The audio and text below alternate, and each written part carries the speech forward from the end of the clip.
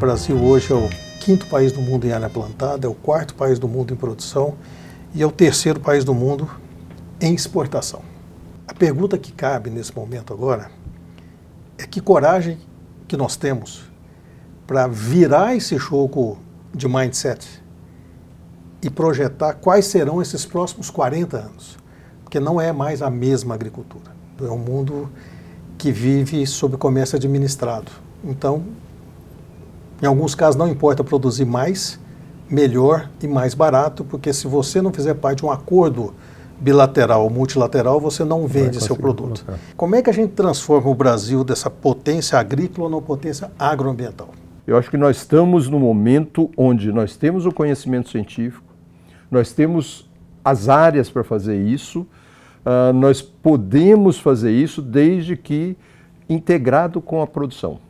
Nós não podemos fazer isso de forma independente. Não pode ser uma atividade de um lado e a produção de alimentos do outro. Isso tem que acontecer uh, na forma de parceria da integração da questão ambiental e agrícola dentro da propriedade rural. Existe uma fala errada é, que diz que que utilizar nossas áreas para restauração é tirar a aptidão de geração de empregos, etc.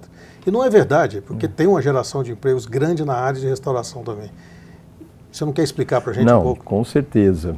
É, hoje nós temos números disso, né? Se o Brasil cumprir o, o, o, Código Florestal, nada mais além do Código Florestal, só cumprir as áreas que são obrigatórias na legislação para restauração, nós estamos falando de gerar algo em torno de 5 milhões de, de empregos nessa adequação ambiental das propriedades rurais. Que isso seja feito de uma perspectiva de nós chamamos de restauração multifuncional, que traga benefícios ao proprietário rural, que traga benefícios à sociedade. Esse benefício é desde exploração econômica, de, restauração com fins econômicos, até benefícios para a polinização das culturas agrícolas dessa, dessas propriedades. Então, assim, nós estamos falando aqui de uma oportunidade para o Brasil monstruosa. Nós temos 40 milhões de hectares de pastos degradados no Brasil. Como é que a gente faz esse mosaico novo aí?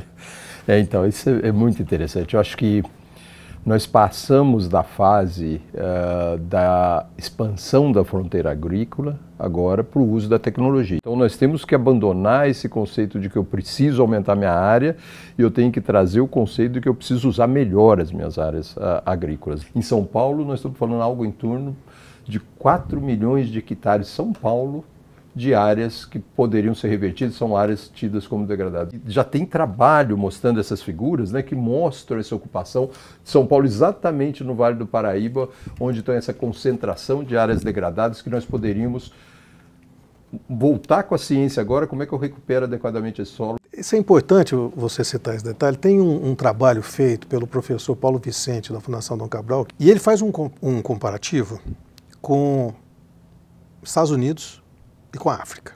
Então, faroeste é aquela área, é, é aquele período da história em que você está abrindo novas áreas. Tá? Os Estados Unidos fez isso nos anos de 1800. O Cerrado brasileiro começou 100 anos depois. E a África está começando agora, Exatamente. 100 anos depois da gente. É.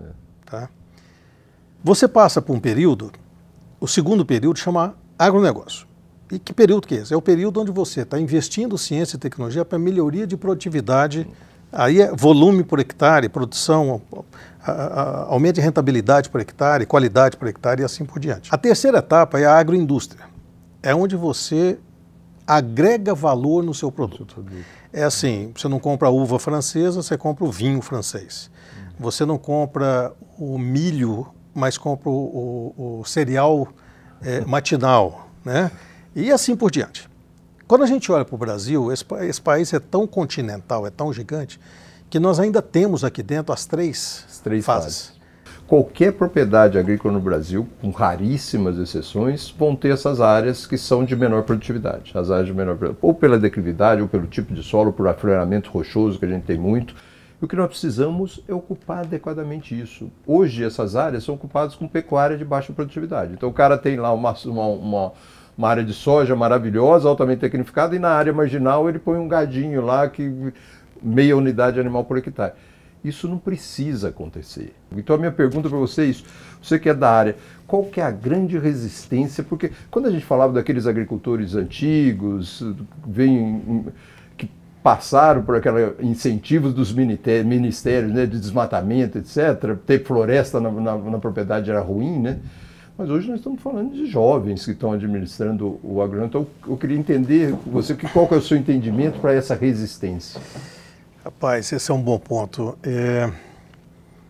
Eu passei a colocar no meu currículo, a partir de 1998, que eu era um agroambientalista ganhei inimigo dos dois lados. Os ambientalistas ficaram com raiva e os agricultores também. Então, é, não, não, não, foi simpático. Hoje, eu acho que é o, o, que melhor caracteriza isso. Só que nós vivemos um mundo é, complicado por polariza, polarizações políticas. O caminho é o caminho do convencimento através da lógica pautada que é essa que você colocou. Hoje nós conseguimos demonstrar cientificamente que uma propriedade de café, se tiver floresta próximo e floresta bem manejada, não é qualquer floresta, uma floresta que pode ser econômica, pode ser extrativista, mas tem que ter diversidade, tem que ser bem conservada, ela aumenta em até 40% a produtividade do café. 40%. Você imagina o que é isso? Porque você pensa, né? A maioria dos nossos produtos são grãos, que depende de alguém, ou, ou a natureza, ou o vento, ou qualquer fazendo essa polinização. E na soja também está comprovado que aquela próximas a, a, a áreas florestais também são mais produtivas. Exatamente, porque um tanto disso não, não conseguimos melhorar. Então isso está na soja, está no café, está na laranja, está no maracujá, está em todas as culturas. É assim, eu, eu, sinceramente eu não conheço muitos países que têm uma agricultura da qualidade da brasileira. Tá? Nós temos ciência, e boa ciência produzida no Brasil, que mostra que menos de 2% das propriedades agrícolas praticam desmatamento ilegal. Quando a gente fala dessa, dessa relação já ultrapassada entre, entre produção e desmatamento, vamos olhar cadeias que já se afastaram disso há muito tempo. Cana-de-açúcar, laranja, ou a fruticultura de uma, de uma forma geral. Eu posso citar aqui dezenas de culturas que há tempo não se discute expansão dessas culturas versus desmatamento. É. Né?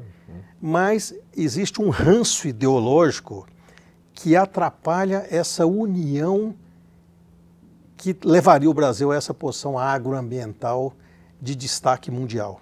Então, se nós tivéssemos para a produção de alimentos no Brasil o BNDES, o, o, o ABC, que nós conhecemos tão bem, se eu tenho no ABC uma possibilidade de usar um juros subsidiado, esse sim, subsidiado, para o cara regularizar a propriedade dele, para o cara caminhar para uma agricultura regenerativa, para o cara fazer uma restauração alterando o, o, rendimento dele no sentido de outras fontes de renda, com madeira, com frutíferas nativas, etc., seria um belíssimo caminho. O que não pode é ficar na polarização, os ambientalistas contra a produção de alimentos ou vice-versa, porque isso uh, não tem como. Hoje, o desmatamento é uma questão imobiliária.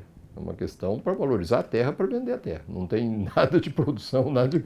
Então, uma terra com floresta vale 3 mil reais o hectare, uma terra sem floresta vale 30 mil. Então, enquanto isso fosse mantido, logicamente, vai se tirar a floresta para vender a terra a 30 mil. Apesar de todas essas disrupções negativas que nós estamos vendo no mundo, um mundo cheio de guerras, cheio de conflitos, é, eu sou um otimista realista, que vai demorar para transformar, mas sou otimista. Né, Não, eu também sou, Marcelo. Sou otimista porque eu acho que uma, uma, uma carência da nossa época, e principalmente da época da, da geração anterior da nossa, era a informação, a informação de qualidade. Errar hoje é muito diferente de errar no passado. Errar no passado você não tinha como ter essa informação. Hoje qualquer agricultor consegue entrar num curso, fazer isso, fazer como é que eu abro uma propriedade, fazer isso ambientalmente correto, socialmente correto e principalmente agronomicamente correto.